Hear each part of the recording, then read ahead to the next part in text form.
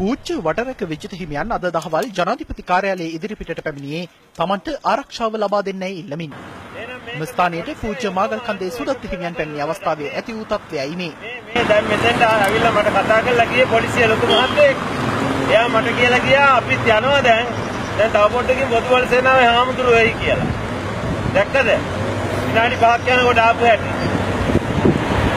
මේ මේ ඉන්නේ මෙතුමා කිව්වේ. මෙතුමා කිව්වේ. කිව්වේ මේ මේ මේ මේ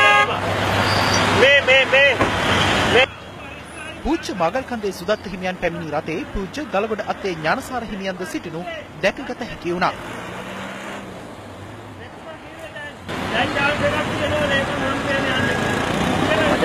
එහෙම කොහොමද කරන්නේ? පොදුබල සේනා සංවිධානයයි පොලිසියයි එකයිද? කොහොමද ඔබතුමා එහෙම කිව්වේ කියන්නකෝ? කියන්නේ ඕ මේ මැරේ ඕ මෙතෙන් යනවා. පොලිසියෙන් එනවා කියලා තව විනාඩි ගානක් පොදුබල කියලා. හෙලෝ හෙලෝ කොහොමද මාගා ගන්නේ? අනතුරුව පොලිසිය විසින් වටරැක විජිත හිමියන් ජනාධිපති කාර්යාලයේ නිලධාරීන්ගේ රාජකාරී වලට බාධා කිරීම සහ කලහකාරී ලෙස හැසිරීම යන චෝදනාව අත අත්අඩංගුවට ගත්තා. අධිකරණ වෛද්‍ය නිලධාරීවරයා හමුවට පැමිණීමෙන් පසුව උන්වහන්සේ ජාතික රෝහලට ඇතුළත් කර තිබෙනවා.